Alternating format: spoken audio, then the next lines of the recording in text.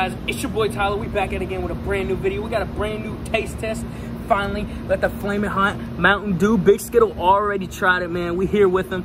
Already tried the flaming Mountain Dew, but we have not tried it. Before we get into this, man, smash the like button, hit subscribe, and hit the bell notification so you never miss a video because there's another banger coming straight after this one. Straight after this one, probably a week or a couple days, man. Straight banger. But let's get into this. Uh, flaming hot. It's it's got like heat and citrus and other natural flavors. So peep Oh, that yeah, real quick. Heat, natural It's- flavor. yeah, yeah. Like we like, or I like flaming hot Cheetos and all, but he don't like them. So I like spicy food. link for his channel be down in the description. Y'all go show him some love. Y'all know how he rock it. I got all the water on me. Why we both wearing red? That's a real Yeah, let's try it. Let's try this. Let's get into this, man. Get into this. Looks good. It's not bad. It's it's got that after it's got an aftertaste, guys. It's got a really bad aftertaste though.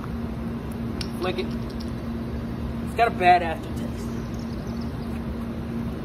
Look, show the camera, show the camera, show the camera.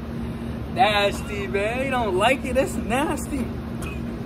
It's Why does it shit it does a burn taste in the back. You can taste the It hits orange. that dangling thing in the back of the throat. Oh, whoa. nah, it's you can taste the citrus.